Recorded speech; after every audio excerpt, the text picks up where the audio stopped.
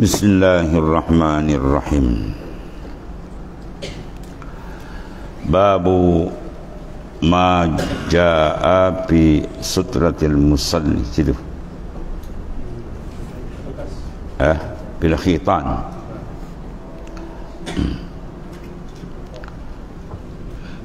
Bab ma jaa fi salati bil hitan.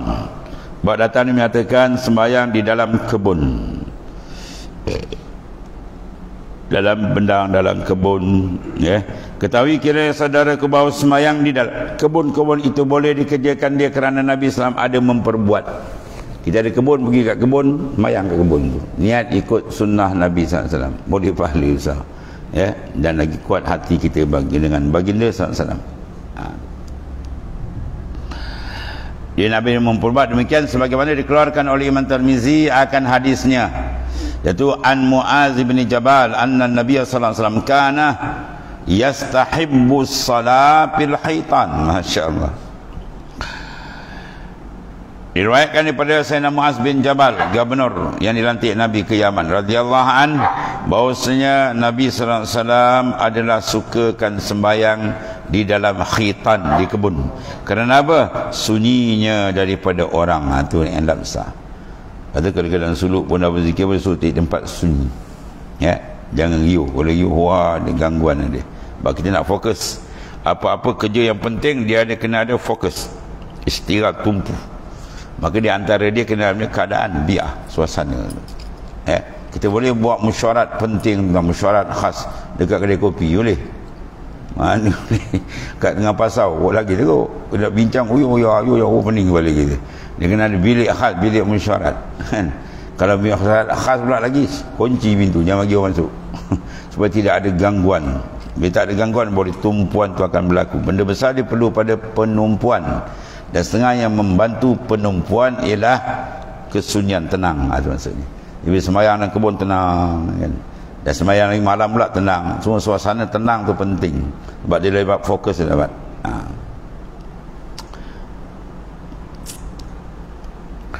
Dia Rasulullah SAW suka sembahyang di ha, di kebun tadi. Mana tadi? Kerana bahawasanya sunyinya daripada orang. Ha. Dan kata Imam Abu Daud Sijistani dikendaki dengan haitan di sini ialah kebun-kebun. Dan kata Abu Isa ini hadis mas ini adalah hadis yang gharib. Jadi maknanya apa? Itu cara dia antara Rasulullah SAW suka. Kalau kita pergi kebun, semayang. Kan? Ha. Lepas tu seorang ulama dah meninggal di, di Perak. Pak Tikro. Kan? Dia ngaji tak lama 8 tahun tapi hebat. Keilmuan tak lama dia luar biasa. Dia orang susah tu. Bila cuti pondok dia ambil upah cari untuk belanja pondok. Ketika tu dia di antara dia buat kerja apa? Menori getah. Ha, dalam kebun getah tu tengok dia semayang dan konok tu. Eh lepas menori berhenti bentar. Dia ada tak bentar pun tempat bersih semayang atas tanah tu lagi afdal. Ya. Ha, Tanpa dalam semak dalam hutan pun dia semayang tu. Ini kat rumah macam banglo so tak semayang. ya lain cerita dan ha, dia tengok ya. Babu maja'a fi sutrat musalli. Musalli musalli semayang musalla tempat semayang ya. jangan sama ya. bab mengatakan tutupan orang yang sembayang di hadapannya mana penghadang ya sekarang ada jual ya kat kedai-kedai ada jual sutra bentuk tinggi tuan papan. Ketahui kiranya saudaraku sembayang Eh, seorang yang tak semayang fardu atau sunat di tengah lapang. Tak ada apa-apa. Kalau kita ada dinding kan ah, dinding tu sutrah kita. Penghadang kena ada tu. Dan jarak dia pula syarat dia tiga hasta. Jangan lebih. Tumit kepada sutrah tu kedudukan sutrah paling gendah dua sudut satu dua per tiga hasta. Lebih kurang sekaki eh, tak boleh kita jadikan sutrah kita punya apa dompet duit tu tak boleh. Dia tinggi kurang-kurang dua per tiga sekaki lah lebih kurang. Ya? Dan dia tertib cari yang afdal dulu dinding. Kalau dinding tongkat. Kalau tak ada boleh pergi pada beg yang kita letak teman kalau tak ada semua lagi barulah kita letak sejadah. Tak ada sejadah juga kita guris. Ada tertib.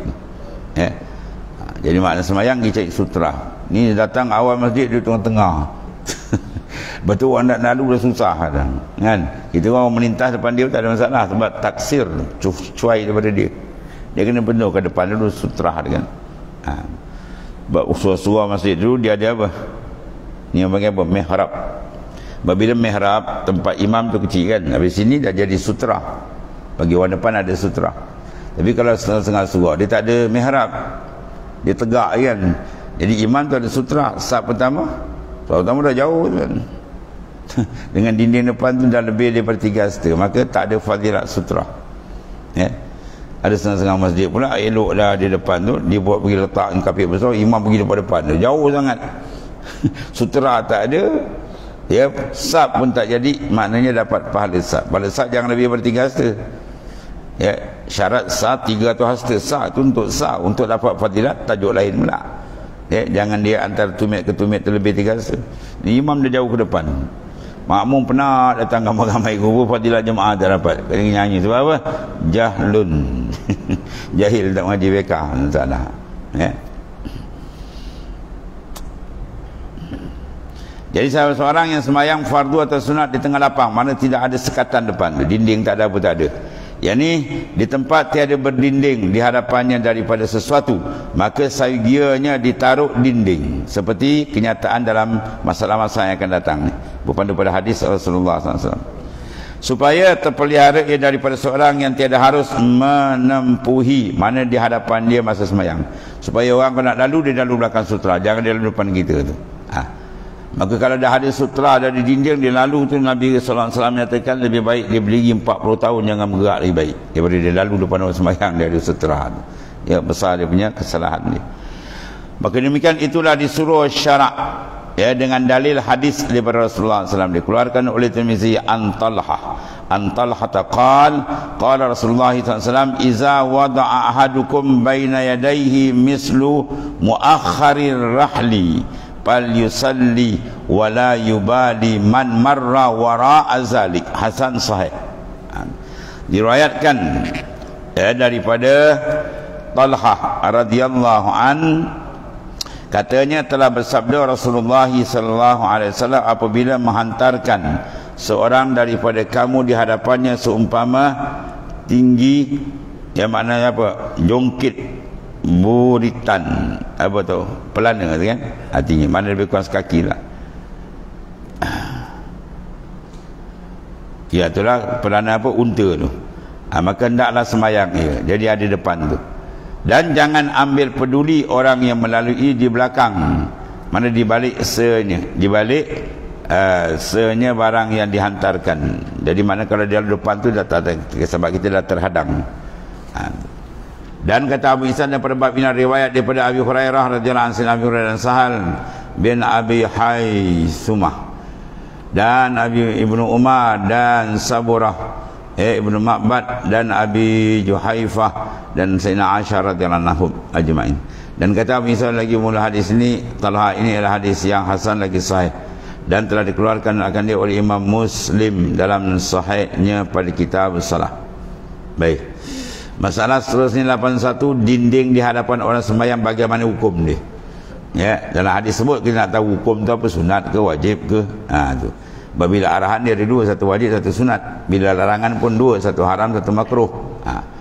Kata Imam Nawawi dalam Syarah Muslim dan pada hadis dalam masalah dia 80 menunjukkan sunat menghantar dinding maknanya penghadang di hadapan seorang yang sembahyang. Maka kenyataan bahawa sekarang ya sekurang dinding itu setinggi buritan pelana unta ya pelana unta kan ada apa tinggi dia bukan sekaki dan itulah dua per tiga hasta dua per tiga. Satu hasta kita bagi tiga.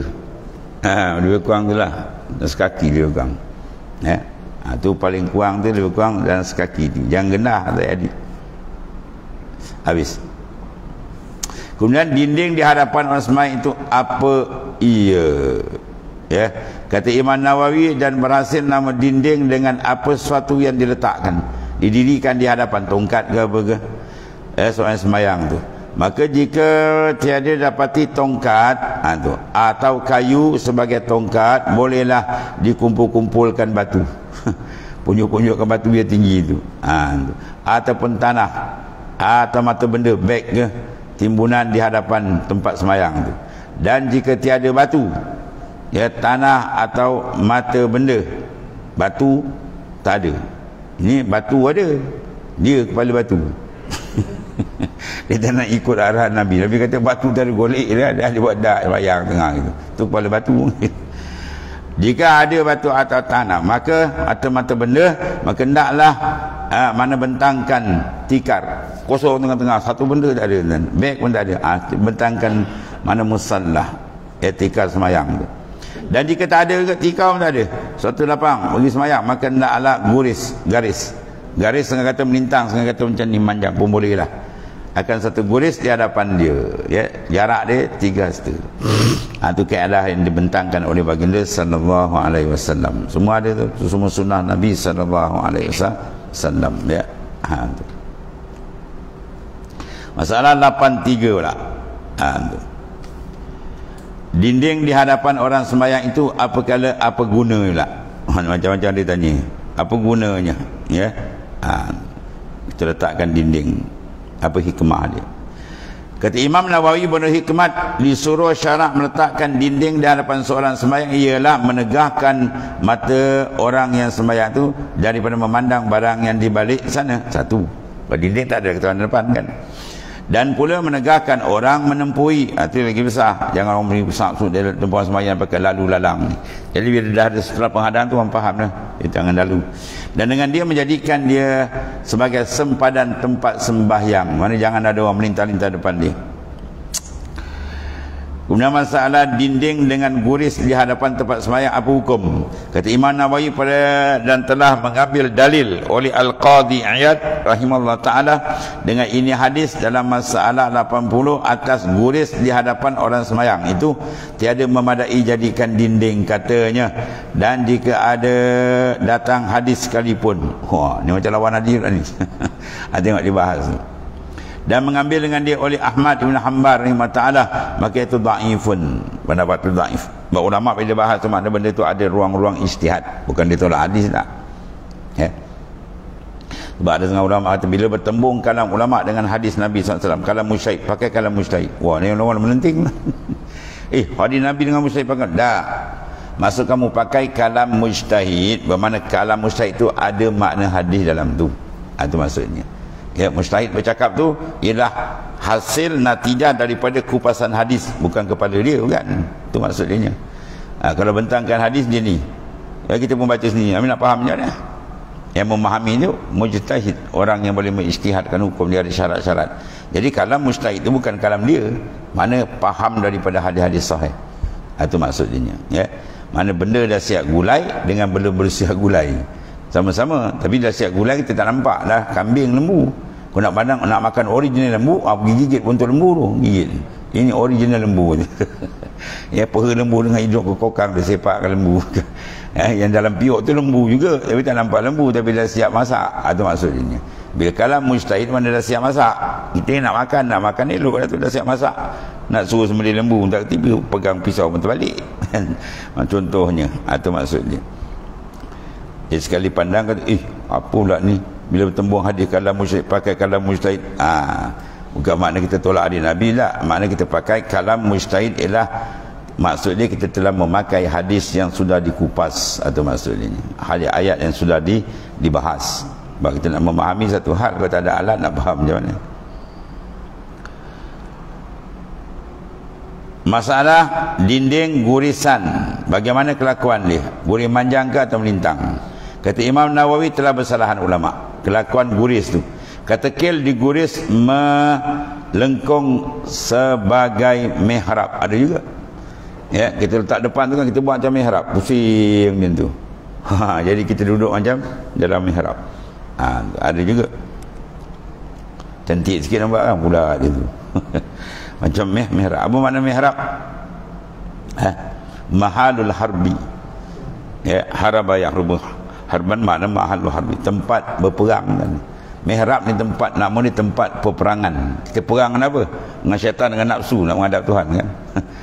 Usali Allah SWT dia masuk cepat gang. Dia hati dia higit. pergi supermarket lah macam-macam belum rokok dan terbagai dan ha, tu kena berperang itu semayang teman tempat berperang mihrab tu mana kinayah pada apa ha, supaya kita berjaga-jaga musuh sangat cemburu kita menghadap Allah Ta'ala dan kata kil lurus di hadapan seorang semayang itu ke kiblat mana apa kali tegak menuduh ke kiblat dan kata kil guris daripada kanan ke kiri mana melintang dari sini ke depan? Ha, jadi walhasil semua kaul tu adalah ya? Ha, jadi mana-mana pun boh mana pun boleh. Hmm. habis. Jadi maknanya dalam masalah cara mengguris itu ada khilaf ulama. Ya, ada melengkung, ada ke depan, ada melintang, ada membujur dan melintang ke depan boleh, memanjang boleh. Dan kata Imam Nawawi telah berkata al-qadiyat. Ya. Dan tiada memikir Imam Malik rahimah taala dan tiada kebanyakan fuka akan hukum memada dinding guris itu. Ya. Ha, ada juga ada ada mungkin ada hadis yang lain atau martabak macam-macam dia bahas ni. Ya. Ha, dan satu lagi masalah dinding imam adakah jadi ia dinding makmum ha makmum imam setelah depan jadi makmum juga ha tu Ya saudara satu kumpulan orang yang sembahyang berjemaah di tengah lapang. Ha, ha. Di tengah padang pasir kan. Jadi maknanya imam tetapkan tongkat depan tu. Sutra imam tu adakah jadi makmum punya sutra juga? Atau makmum tu sutra dia ha, maknanya dia sendiri tengok sini kemudian ditaruh di hadapan imam. Imam saja dinding daripada tongkat kesalahan dia. Ha, berpacak dicacak ke tongkat situ. Tapi makmum pula akan cacak tongkat depan juga kot atau macam mana? Ha. atau seumpamanya adakah makmumnya semua hendak ada dinding? Ya? Ha, tu tiap-tiap orangnya jawab. Telah berkata Abu Isa At-Tirmizi dan bermula amal atas ini hadis dalam masalah 80 di sisi ahli ilmi mana ahli ijtihad. Dan berkata mereka itu bermula dinding imam itu ialah menjadi dinding makmumnya. Ha jadi. Masalah dia kalau macam tu kita semayang tadi apa? Tempat ada mihrab pun dia berdinding jugalah saat pertama tu. Eh Bandingkan bila ta'arud bertembung dua ni. Kalau sembahyang tak ada mihrab kan. Dia punya depan tu tegak je. Jadi bila imam ada ada ada sutra ala dinding. Makmum tadi dia tak ada mihrab macam ni kan. Jadi makna jauh tu. Luput syak sutra. Kalau pakai kaul ni makna tak ada masalah. Sebab saat pertama tu dengan imam imam punya sutra tu kita punya juga. Itu maksudnya. Ya. Ha, maknanya sutra imam tu sutra makmum. Bermula dinding imam itu ialah menjadi dinding makmum ya. Maka tiadalah berhajat segala makmum kepada dinding dengan sebab imamnya sudah berdinding. Ha, kalau sab kedua tak ada masalah lah. Sab kedua tu sutra dia sab pertama. Sebab tu bila ada ta'arud bertentang. Macam kita kata tadi tak ada mihrab kan. Duduk sab pertama belakangan imam dia tak ada sutra sebab jauh jarak dengan dinding. Eh, kalau duduk sab kedua ada sutra maknanya makmum sab pertama jadi sutra bagi makmum sab kedua. Ha, mana afdal kita duduk sab kedua ada sutra kalau duduk sab pertama belah kanan kita ada sutra maka jawab dia afdal kita duduk sab yang pertama ya? Ha, tu. pada sab pertama pun ada kaul mengatakan cukup sutra dia sutra imam. Ya? Ha, itu maksudnya. Kemudian babu majah fi karahiyatil murur ya baina yadai musalli. Di tegah kita melintas tempat orang depan orang semayang. Wallahu sadaqa rasulullah sallallahu alaihi wasallam. Sayyidina muhammad. Allahumma salli ala alhamdulillah